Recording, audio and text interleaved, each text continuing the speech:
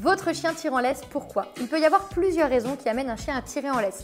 Déjà, la plupart des chiens marchent naturellement plus vite que nous. Donc pour eux, c'est un effort considérable de marcher à notre allure. Et c'est pourquoi il est très souvent euh, plus naturel de voir un chien tirer sur sa laisse plutôt que d'avoir un chien qui va euh, vraiment être focalisé sur vous. En plus de ça, très souvent, nous utilisons un mauvais matériel, notamment la taille de votre laisse. Si elle est trop courte, fatalement, ça va inciter le chien à être en tension plus vite. Puis, l'apprentissage d'une marche en laisse détendue eh bien, est un apprentissage. Autrement dit, il doit se travailler dans la durée, il doit être généralisé car pour un chien, c'est se focaliser sur vous. Et dans certains cas, l'environnement a plus d'intérêt pour votre chien que vous. C'est pourquoi c'est un apprentissage progressif qui n'est pas si facile que ça. En plus de ça, si votre chien tire en laisse, vous devez savoir que c'est un comportement qu'il a appris parce que ça marche pour lui. Autrement dit, quand il tire, il peut aller sentir une odeur, il peut avancer, etc.